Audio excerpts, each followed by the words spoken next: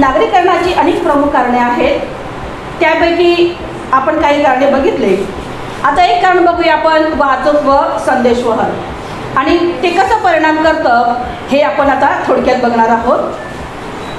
महत्त्वाचे लोहमार्ग एकत्र आल्यामुळे आणि रेल्वे स्टेशनाचा विस्तार झाल्यामुळे रेल्वे स्टेशनाचे भुसावळ जंक्शन झाल्यामुळे वाहतुकीच्या सोयीचा विकास झाला म्हणून नागरीकरण झपाट्याने झाले. त्यामुळे जळगाव जिल्ह्यातील भुसावळ शहर नावारूपाला आले. तसेच वाहतूक व संदेशवहनाच्या सोयी कोकणातील रत्नागिरी जिल्ह्यातील सावर्डे या गावात रेल्वेसारख्या सेवा उपलब्ध झाल्या. त्यामुळे नागरीकरण वाढले.